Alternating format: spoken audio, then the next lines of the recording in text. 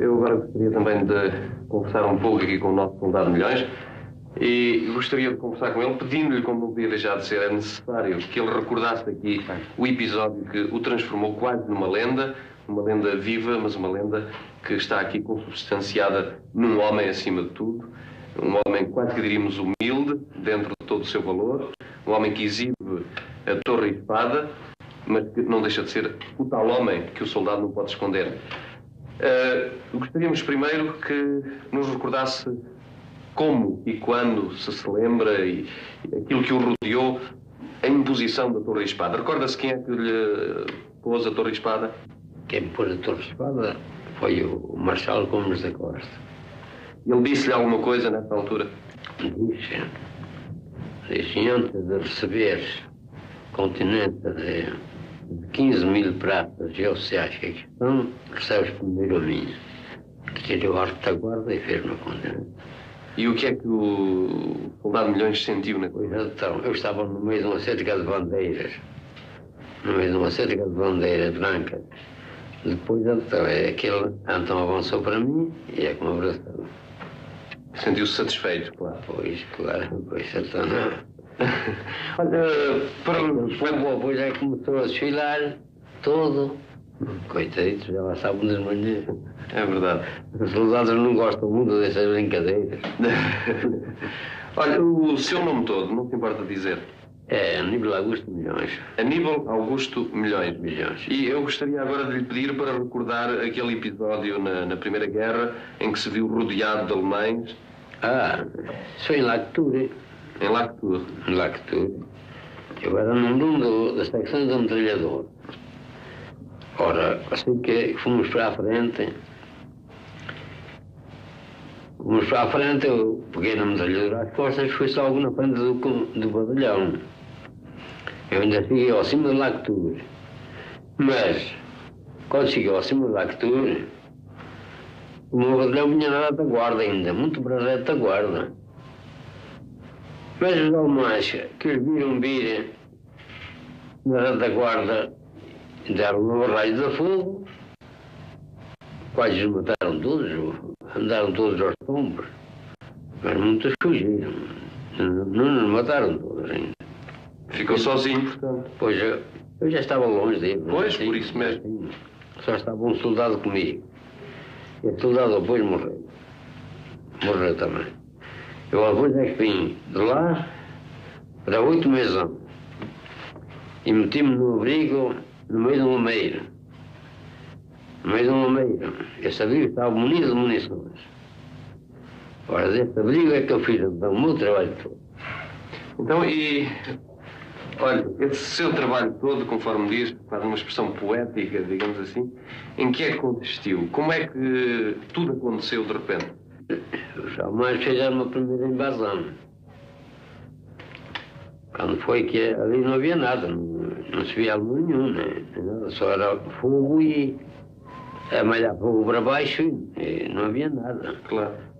Só se via fogo, artilharia e, e, e morteiros e todas as peças de, de fogo.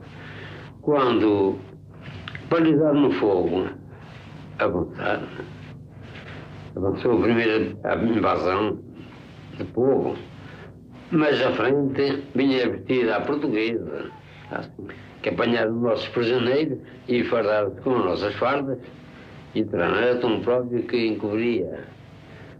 Encobria, vinha muito já portuguesa.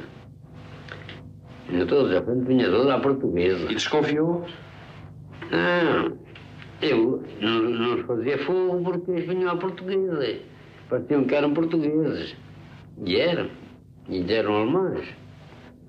Quando foi que eu fui lá abaixo, fui lá ficar assim com os corteses.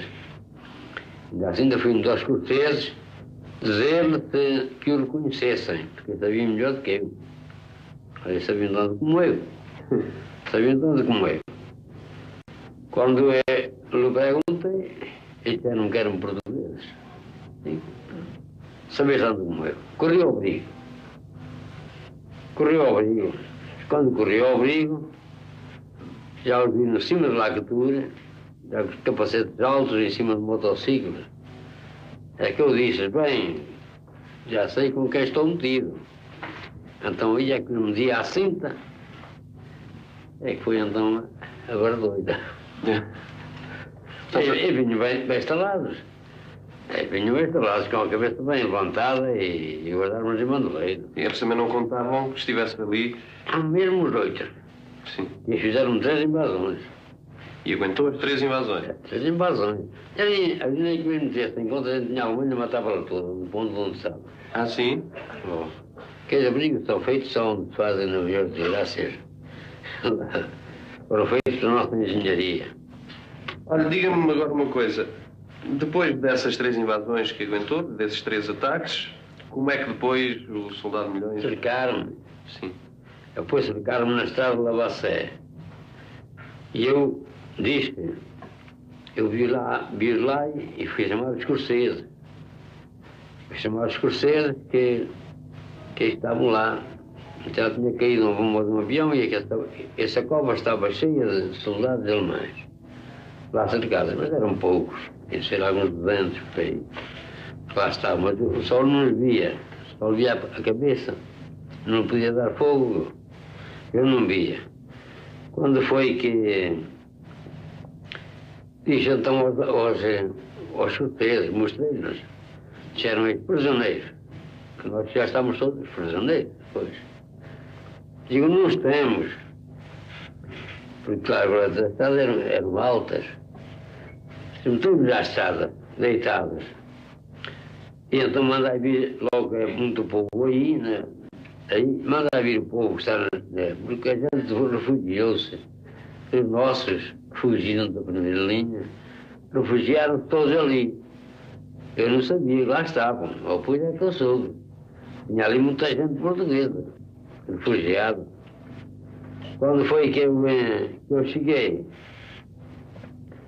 ali, é que eu meti a linha, a, a estrada, meti a estrada e os arrastos.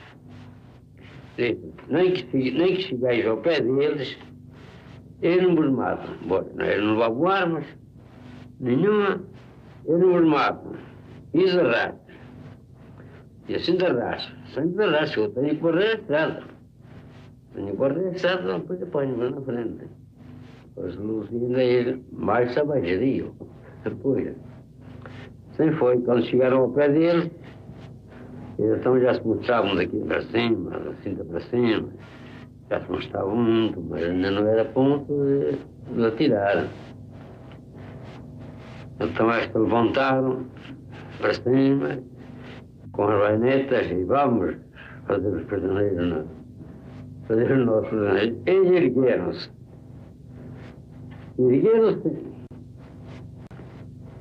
Quando se ergueram, caíram. E os nossos ergueram-se logo. Na estrada, e que a mulher fugiu.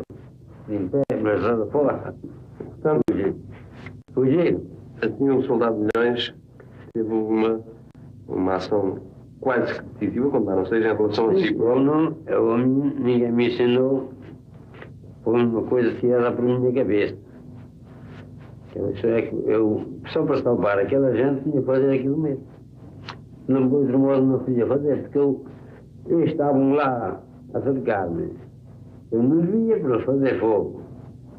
Se por acaso levávamos de fazer fogo, eu não matava, eles punham ali uma grande força.